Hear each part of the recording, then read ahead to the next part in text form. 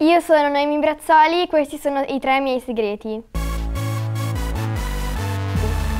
Allora, il primo è che da piccola avevo un amico immaginario che veniva chiamato Sfigatto e infatti gli davo da mangiare, lo accudivo, fino a che ho capito che la gente mi guardava male, pensava che fossi matta, quindi ho smesso. Poi il secondo è che ho origini francesi perché infatti mio papà è italo-francese perché mia nonna veniva da Parigi.